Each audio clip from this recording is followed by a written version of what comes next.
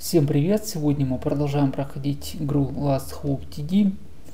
У нас уже готова прокачка пушки. Надо посмотреть, возможно мы еще сможем что-то сделать. Хотя не уверен, у нас всего 300 монет. Но посмотрим. Все-таки начальный этап, возможно мы сможем что-то сделать. Да, не сможем. Следующая прокачка стоит 500 монет, поэтому мы откладываем это на потом. Наверное, после прохождения уровня ближайшего мы уже сможем что-то сделать. Так, значит, э, The Nest мы прошли, Outpost мы не проходили, Radio Tower мы проходили, а вот э, Road to Oil, дорога к нефти мы не проходили. Там как такое ответвление по карте, мы ее завершим, а после э, Road to Oil уже идут как бонусные уровни, мы их пока пропустим сосредоточимся только на прохождении основных уровней. Дальше уже посмотрим, возможно, будем доберемся к бонусным уровням. Ну что ж, вот такая вот карта. Мы переходим два индейца наших, два бойца. Я их оттягиваю красной линии и ставим сейчас пушки. Насколько я помню, в этой миссии будет активна птица, поэтому мы в основном делаем акцент именно на авиационных пушках, ну и, конечно, о сухопутных тоже э, не забываем, позаботимся о них, поставили уже миномет, он начинает активно работать. Пока в основном сухопутные противники идут к нам. Надо прокачать там, до третьего уровня пушку, миномет нашу. Ну и уже дальше можно ставить второй миномет, либо же также еще усиливать нашу авиационную группировку. Но пока птиц не видно. Вот только сейчас что-то промелькнуло, подобие птиц но на данный момент преобладают именно сухопутные противники. Игра подсказывает то, что будет сейчас наступление в трех направлениях. Уже к нам бегут зомби. Надо бы еще поставить замедляющую башню, чтобы она как-то замедляла ход, особенно в таких вот активных атлетах зомби. Они могут нам доставить неприятности. Мы сейчас прокачали в очередной раз миномет – и идут нам силы противника вместе уже с птицами. Но с птицами мы пока вопрос решили относительно. Но на этом останавливаться не будем. Это у нас вторая волна. Думаю, что ближе к концу уже возможно появится большое количество птицы. Может быть покрупнее, поэтому прокачанные до максимума пушки авиационные нам обязательно понадобятся. Хотела брать уже нашу пушку покрупнее, но как мы видим, не зря ее не взял. Тут, кстати, по-моему, даже негде поставить. У нас нету четырех клеток одновременно, такой как большой квадрат. И негде размещать. Поэтому выбор был абсолютно правильный. Вообще и миномет спасает на данном этапе. Тут нет таких уж очень сложных э, зомби. Можно ограничиться минометом, если его будет не хватать, можно ставить побольше. А когда их в большом количестве, то зомби не поздоровятся. Так что я не вижу даже а, смысла пока ставить э, калибр побольше, но я думаю, что в будущем обязательно смысл появится. Зомби будут посильнее. Хотя мы уже и сейчас видим, тут есть крупные птицы попадаются изредка. Э, зомби тоже есть такие, как великаны, как Франкенштейны по комплекции. Их убрать даже миномет, он когда прокачан, не с первого раза это получается. Э, так что в будущем, думаю, что придется и пушка покрупнее нам задействовать. Мы еще скоро должны получить новый пятый слот дополнительный. И уже вопрос, что касается какую пушку брать, какую не брать, наверное, отойдет. Мы уже сможем брать полностью весь наш запас и уже как-то будет полегче с этим. Я уже об этом говорил, но необходимо временно а, потерпеть до того момента, пока мы не соберем 100 звезд. Вот это уже у нас предпоследнее наступление. Интенсивность нападения зомби увеличивается сейчас, но мы тоже сложа руки не сидим и тоже увеличиваем пушки. По мере этой возможности. У нас, кстати, если не будет хватать пушек, есть еще доп. оружие, вот промелькнул такой, как огненный дождь. Я о нем постоянно забываю, но вот как вариант, для того, чтобы остудить пыл, тоже очень эффективное средство. Правда, оно исчисляемое. На данный момент 15 единиц у нас в наличии, но я не пользуюсь пока. Мы его получаем по разным ситуациям, то есть в основном это как э, daily бонус идет. За вхождение в игру каждый день вы что-нибудь да и получаете. Ну вот как э, в качестве одного из бонусов это может быть огненный дождь. Хотя можно и пропустить на самом деле огненный дождь, даже если вы не получите, каждый день не будете заходить в игру, его можно купить за 1000 монет. Тоже я об этом говорил, поэтому это не проблема. А накопить 1000 монет несложно. Пройти 2-3 уровня, а можно один сложный пройти уровень и получить те же 1000 монет. Вот в этом мне нравится игра. То есть она не сильно донатная, тут все такие основные инструменты можно получить за реальные деньги. То есть не за реальные деньги, а за игровые деньги, но уже самостоятельно, когда будете проходить уровни. Ну что ж, мы проходим успешно миссию и идем дальше по нашей ветке.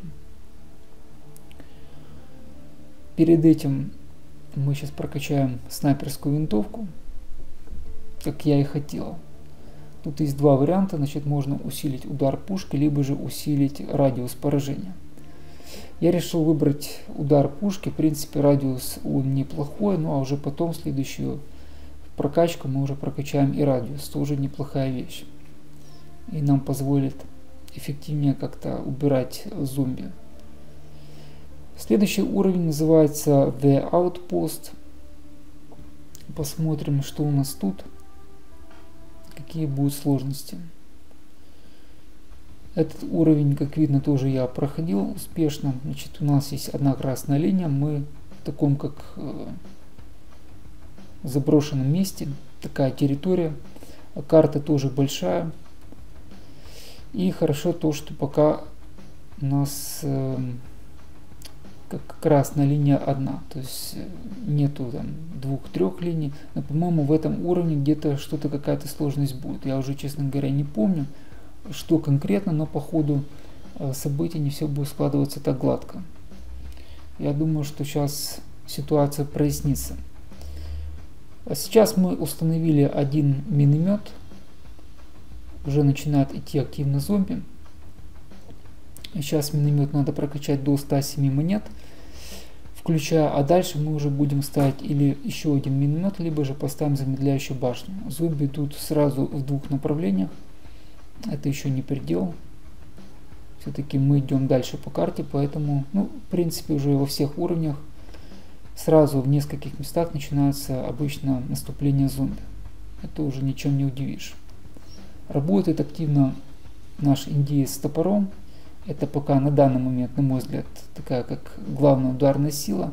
А там, кстати, помимо оружия можно еще покупать дополнительных дополнительных членов э, команды. То есть это могут быть как индейцы, такие как обычные, не знаю, ковбои, там я еще видел варианты пополнения команды. Но это потом, мы сейчас прокачаем достаточно оружия, а потом уже можем и покупать дополнительных игроков. Но я не вижу на данном этапе в этом смысл. У нас по оружию все отлично.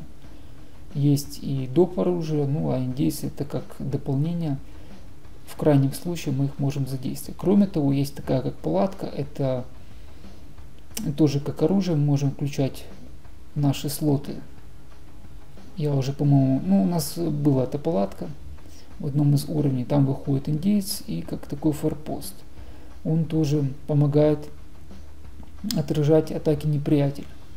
А поэтому по игрокам я думаю, что на данном этапе мы не будем ничего покупать. Лучше купим дополнительное оружие, прокачаем его хорошо, а там уже будем смотреть, какие у нас будут проблемы. Пока что у нас проблема следующая. Действительно, у нас возникли некоторые затруднения, появилась вторая красная линия. И более того, она появилась возле того места, где у нас идет наступление зомби наверху. А поэтому мы сейчас оттягиваем одного из э, игроков, крупного индейца на эту красную линию. И надо усиливать нашу группировку пушек. Хотя у нас достаточно минометов, но как мы видим, зомби просто тут э, пруд пруди, место кишит, и есть всякие разные отборные, такие как Франкенштейн, уже под красной линии у нас в углу внизу. А поэтому лишние минометы, лишнее вооружение нам не помешает. Вот, кстати, в этом уровне можно было бы поставить калибр и покрупнее, включить вместо авиационной пушки. Но можем и обойтись минометом. Это не проблема, потому что миномет, он даже дешевле.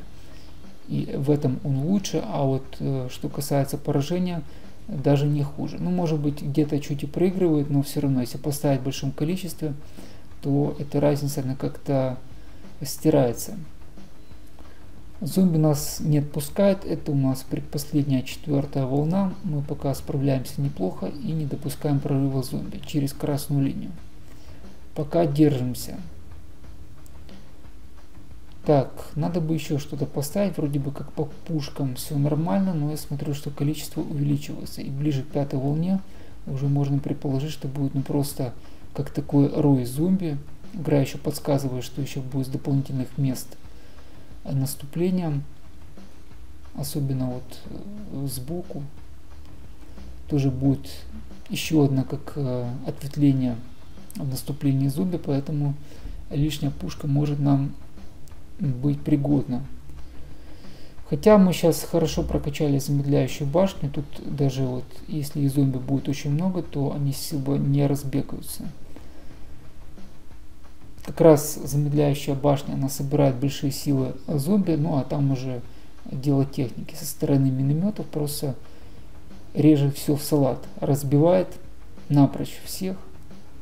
Очень эффективное вооружение. Кстати, это было, вот, что касается миномета, первое мое приобретение и очень верное. Были и пушки, но вот как-то я увидел, что миномет он и стоит подороже, и прикинул, что он придется ко двору. И отнюдь в этом не ошибся. Оружие действительно эффективное.